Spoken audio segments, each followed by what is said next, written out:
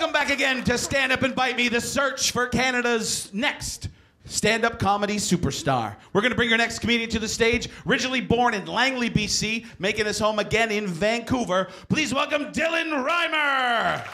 Hi, I'm Dylan Rhymer from uh, Surrey, BC, laughing stock of Canada. Uh, and I'm really shitty at intros. So, should I just do this thing now? Can I? Okay. I've been doing stand up comedy for a really long time. I used to write on a typewriter. That's how long I've been doing stand up comedy. I wanted to be a stand up comic because I'm a fucking asshole. That's. That's why I became a comic. It's, it's the only job where you get to uh, swear. It used to be you could smoke on stage. Ah, that was heaven. It was the only job I could think of where you could drink and swear and smoke and, uh, and, and, uh, and be a dick and, and still get paid. But I definitely prefer the kind of comedy that's a bit abrasive, challenging. Um, I, I do kind of like it when people get up and walk out of the walk out of the club. I get kind of a kick out of that. Drink of choice after a bad gig, cyanide. But of course, I can't ever get that, so I usually just stick to uh, gin straight up, right out of the bottle, like a, like a 50-year-old uh, menopausal uh, aunt. Why am I going to win this competition? Because they're going to kill my sister if I don't. Why should people vote for me? Uh, I don't know. Maybe they feel guilty about having voted for Harper, and I hate Harper. So it's kind of like taking your vote back and making me rich. Well, rich-ish.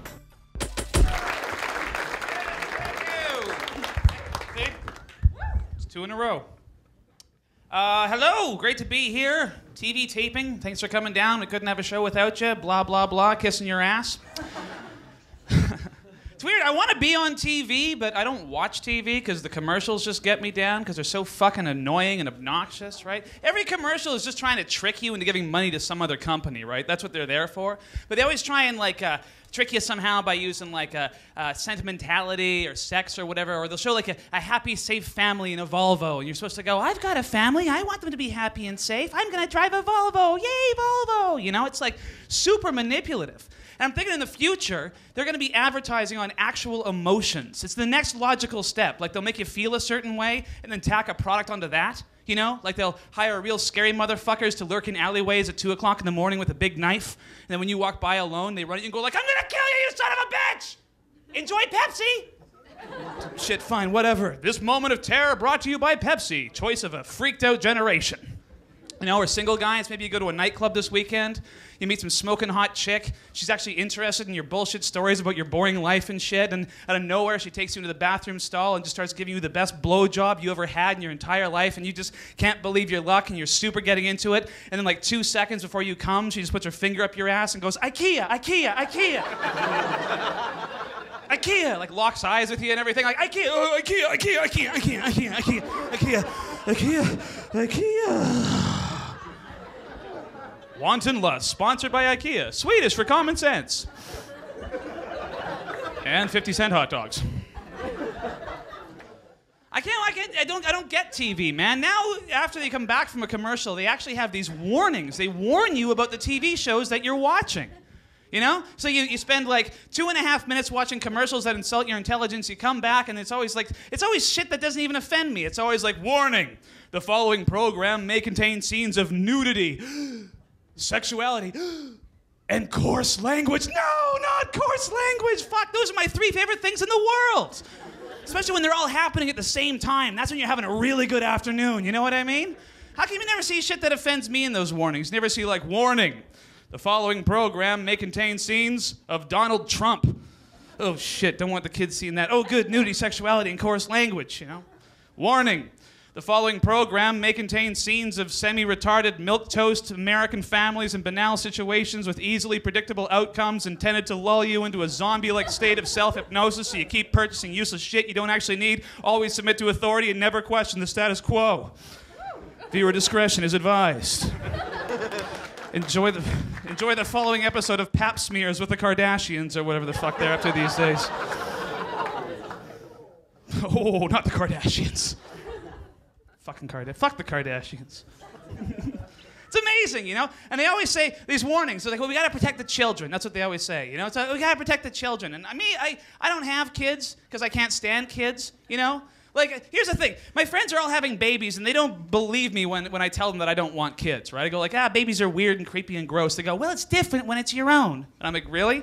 So if it's my own kid, all of a sudden screaming sounds like Beethoven and shit smells like freshly cut grass? How does that work? I hope I never get that crazy, you know? By the same logic, I don't like coleslaw. I think coleslaw is possibly the most disgusting food ever invented.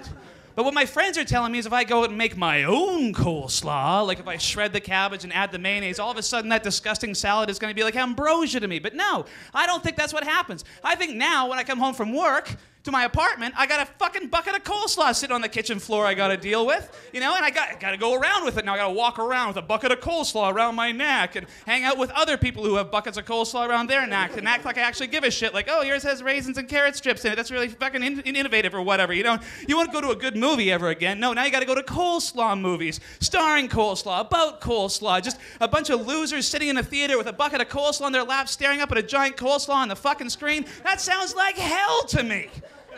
And then after 18 years, it's finally revealed not even my coleslaw. Some son of a bitch broke into my apartment and squirted some mayonnaise on a couple of cabbages, and all hell broke loose. So fuck coleslaw and fuck kids. I don't know which I hate more. I'm awfully angry for a guy in a pink sweater, huh?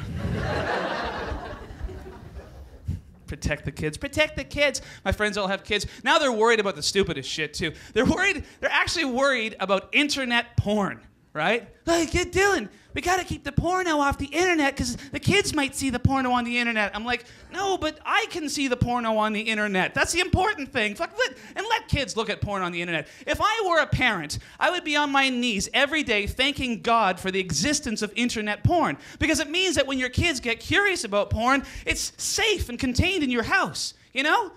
You know how we used to discover porn when I was a kid? Two words forest porn.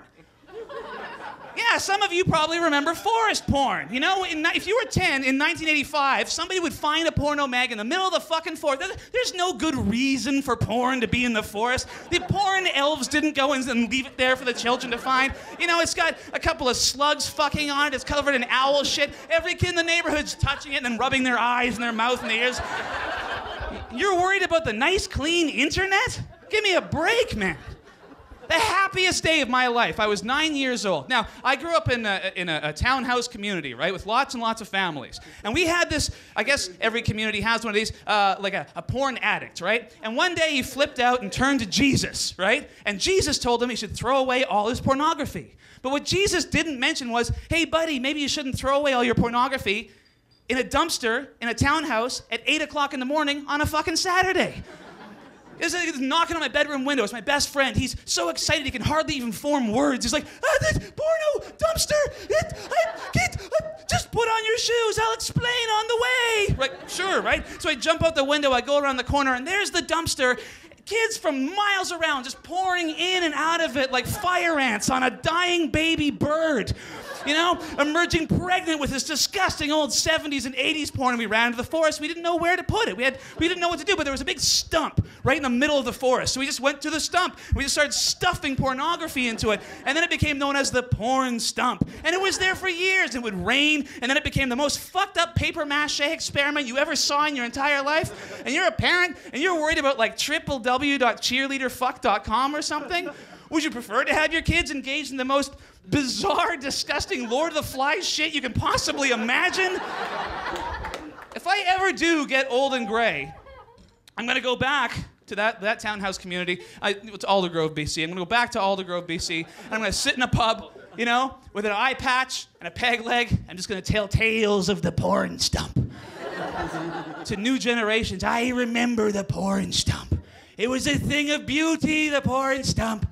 I'd love to take you there, but legend has it it was infused with so much human DNA it grew legs and walked away. but they say on the 69th day of the 69th month of the 69th year on a full moon, you can still hear the moaning and the groaning of the porn stump. Thank you very, very much, guys. It's been a blast. Good night. Dylan Rhymer, everybody. Uh, it went all right. It went all right. What uh, what happened out there? Uh, I went crazy. No. Um, well, I, I, I got up there. I told my jokes. Uh, I, I'm used to having a longer stretch of time, like maybe an hour, so I, I felt a little bit clipped and rushed. But they were laughing in all the right places. Um, and, and of course, the sweater didn't throw them off too much, so I can't really complain. Uh, what's the crowd like out there? They're good, man. They're good. You know, uh, I think it's a treat for them. A lot of times they come down here. A lot of them, I've seen them here at Laugh Lines before. Uh, so I think it's like a sort of a special treat that they get to come down and see like eight comics at the top of their game. You know, I mean, they're always good, but to actually see people, it's, it's kind of like the Olympics that way. You get, you get one shot at it, and, and there you go. I'm distracted by the fly. I don't know any of the judges. They might not find children looking at porn in the forest particularly amusing. Uh, I think I may have gone over time too, because I was having so much fun. I think I just said fuck it and gave myself an extra minute. Uh, went out there, had fun. Now I'm wrapping it up. Honestly, I want to sit down and have a cold drink and a cigarette, and this is this is really just standing in the way of that. So. Uh, Go online, check out bitetv.ca. It's, it's good shit, man. It's a good thing.